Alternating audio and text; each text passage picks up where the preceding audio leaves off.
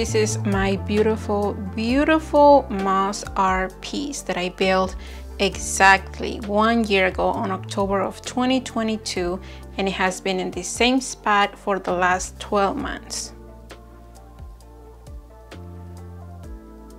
If you're new to this channel, I post videos about my outdoor garden and some of the things regarding seed starting that I do inside. But I don't normally post anything indoors or any home decor except for this little corner where I have most of my houseplants or what's left of them if you watch one of my latest videos. And last year in October when I posted this video about how I made this piece by myself, I received a lot of questions from you guys and still to this day, I find myself answering the same questions over and over. So I am going to try to answer most of the questions that I get from that video in the comments while I also give you an update of how the piece is doing. Let's start from the beginning. As I mentioned, October 2022 is when I decided to gather a few supplies from my local hardware stores, Hobby Lobby, and Amazon and I made this piece at home. It took me a good four to six hours to put this together, I am not gonna lie, but mainly because I took breaks and I ran out of some supplies that I'm going to show you here in a minute. If you are thinking about creating one of these moss pieces for your own place, be prepared to get messy because dealing with preserved moss can get really, really messy really, really quickly. Let me start talking about the frame. I get many questions about the type of frame, where did I purchase it, do I have a link, is this a picture frame, who built it? And if you are wondering about the build of this moss piece step by step, I am going to add the link in the video's description so you can watch that for yourself. But if you are like me and sometimes you miss information while watching a video, then you can just refer to this one. My husband helped me building this frame. We use a collection of things from Home Depot. I went and I gathered the supplies that were needed and we put the frame together. The frame is quite big, so finding a picture frame or something that was already made was really hard for me. As I mentioned on that video, I know that a lot of people use empty picture frames or they have some sort of frame that they found at their local thrift store, which by the way is a great way to find picture frames. But I couldn't find one in this size. The moss piece that I have here is two feet wide by four feet long and it is the perfect size for this little corner.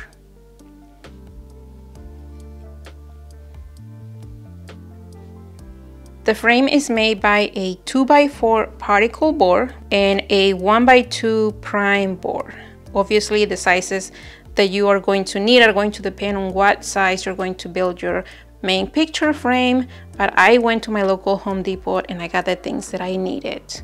After my husband built the frame, I painted the outside of the frame with a metallic paint from Hobby Lobby. The color is called Rich Espresso, which I am sure if you visit any of your craft any of your local craft stores, then you can find this in any paint that you like. I decided to go with a shiny metallic type of paint because I really wanted to pop from the wall and against the moss color. And I am really, really glad that I decided to go with this color. Obviously, one of the questions that I get the most is where did you get the moss? Is it local? Do you buy it from a website? Do you buy it from a specific company? Most of the moss that I use for making this piece came from Amazon and I am going to add links below. I don't know if some of those links are still good because this was last year, but I am going to add them here. The moss that I purchased from Amazon was just so, so neat and I do not believe that I can find that here locally at any of the craft stores, which is normally Michael's or Hobby Lobby but I did go to Hobby Lobby. Actually, I waited until they had a few sales for moss and that's when I purchased some of the moss from the ones that come in the bag. Some of them were sheet moss, some of them were just loose moss and that's why this is a very, very messy project. So be prepared. Another question is how much did it cost?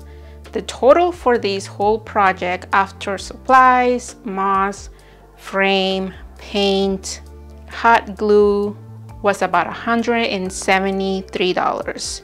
Obviously, I waited, like I said, for things to go on sale.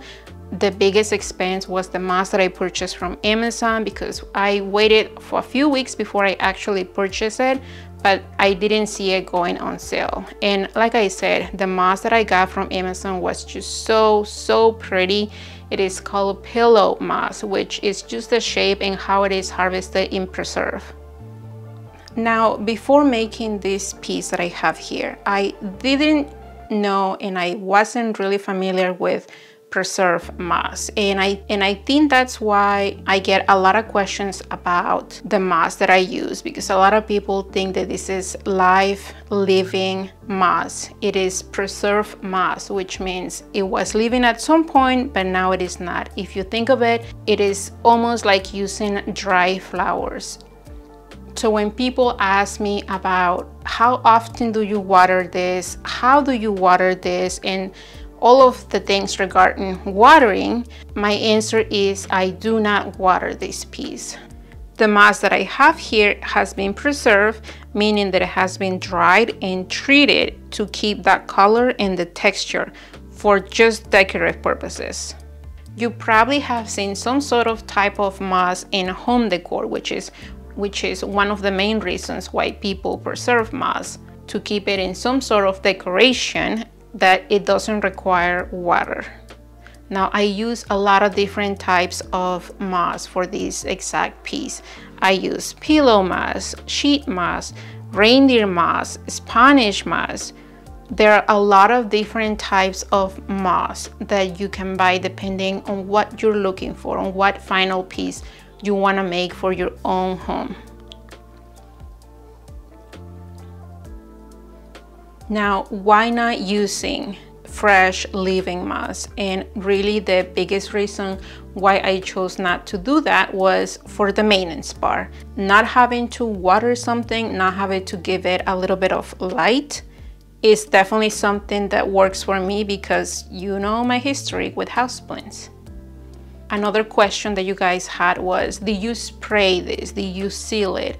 And I gotta be honest here, I, I am not really familiar with spraying or sealing pieces to keep indoors. So I chose not to do that. I am sure that you can find some sort of spray to keep it from fading, to keep it from making it easier to dust later, to keep it clean, but I chose not to do that for my piece.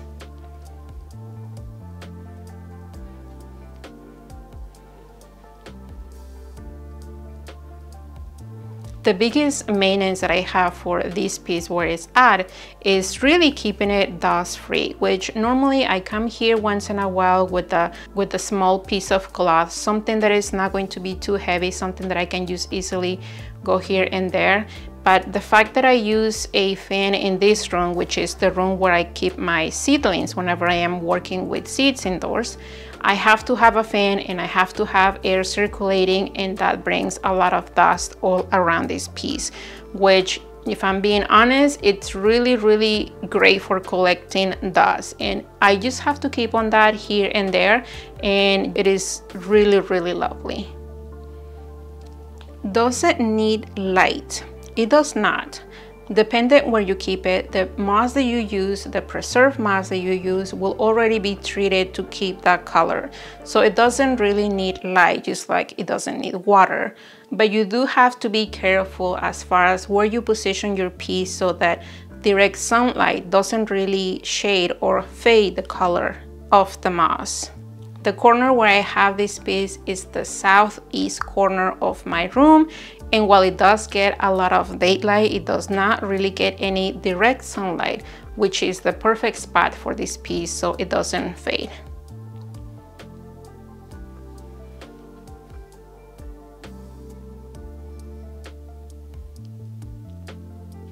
This piece is still one year later beautiful and in my opinion it looks really, really well for being where it is, where I have absolutely no maintenance other than dusting it here and there.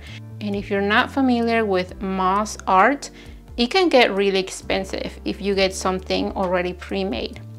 Just for fun, I went on Etsy and I searched for some of these pieces on sizes closest to what I have in smaller sizes, not quite a 2x4, but smaller sizes can range from 900 to $1,500 depending on the design of the moss piece. And for spending a few hours getting really messy and spending $175 on everything included, I think that this piece was definitely, definitely worth it for me to make. And again, this is my first time making something like this. I use a lot of hot glue, which I only purchased one bag at the beginning of this project, and I quickly realized I was going to need a couple more bags. Thankfully, Hobby Lobby is just around the corner from me, so I can just go in, make a quick trip, and get what I need. But overall, I am very, very happy with this piece. Now, if I had to do it all over again, will I do something different? And the answer is simply no. I love this piece just as it is. I love the color that I chose for the frame. After I put this together last October, the color that I painted that wall is also called Espresso by Sherwin-Williams. And I love how the frame, the shiny golden frame goes against that dark color because it really makes the whole piece pop. I love that you can play with the placement of the moss. Not one piece will be the exact same as the other. If I try to recreate this piece, it will definitely turn out completely, completely different because I will probably be using different type of moss. So if you're thinking about creating one of these pieces for yourself, I hope that this video was helpful. Again, if you haven't watched the first video where I put everything together, I highly encourage you to watch that one first so you can get an idea of how everything was made. Thank you for being here, you guys, and until the next time.